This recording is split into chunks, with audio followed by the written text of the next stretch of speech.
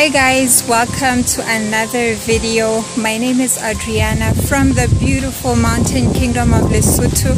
Today I'm heading to my farm. I can finally harvest the first fruit of my butternut and I'm very excited. So let's head over to the farm and harvest some butternut squash.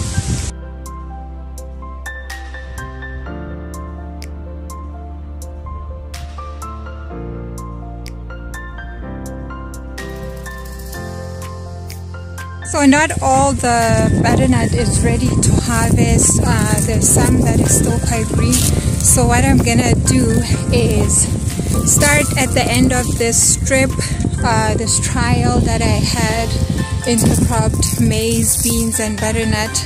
I'm gonna start at the end of the strip and harvest all the butternut that is ready all the way down to the beginning. So let's get into it. So what I'm looking for in assessing the readiness of the squash is this beautiful bright orange color that you see on the squash and those green veins uh, that's nothing to worry about. And I also check the rigidity of the skin on the squash and if it's quite tough that means that it is ready to harvest and another thing that I look for is the stem here. You can see it's starting to turn brownish showing that it's sort of drying up. And at the bottom here you can see the flower on the blossom end has completely dropped off.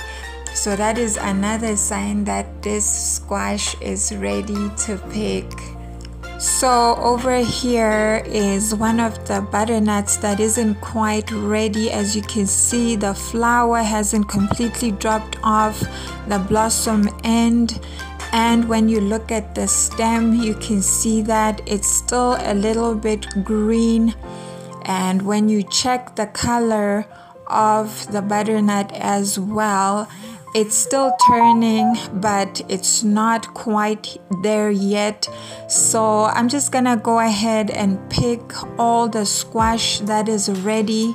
And when I'm done I'm gonna tell you what I do to ensure that my butternut is as sweet as it can be so I'm just using some pruning shears to cut off the butternut from the plant and the stems can be quite tough so I'm using the shears because I want the stems attached to the butternut and this is to help with ensuring that the butternut will last longer in storage.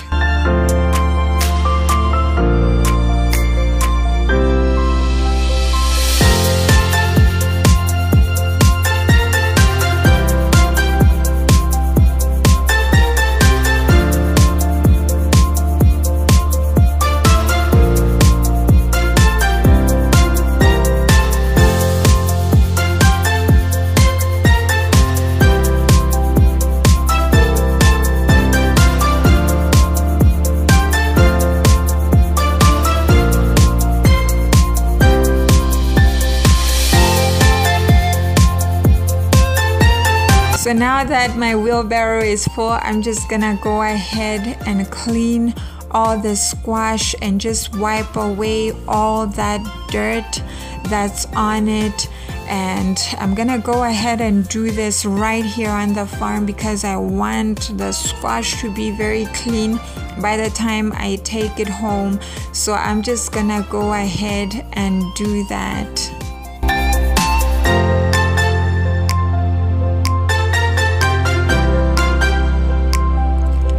This is what the squash looks like once it's clean. Wow, I think it looks absolutely gorgeous. You guys let me know what you think down in the comment section.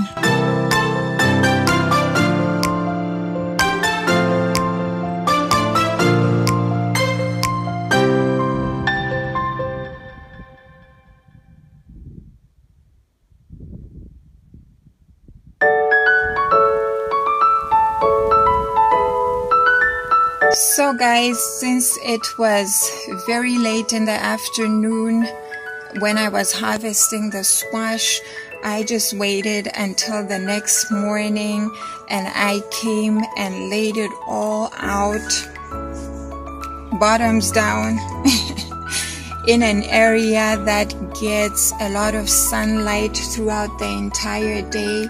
And this is to start the curing and the hardening off process and this helps to sweeten the butternut and also to ensure that it will last for a very long time in storage. So what I normally do is I like to put my butternut outside in direct sunlight and I normally leave it out for like two weeks or even longer depending on the weather and I've actually discovered that the longer I leave it outside in direct sunlight is the longer it will last in storage for up to even more than six months. And it also becomes sweeter and sweeter like the longer you leave it out the sweeter it becomes.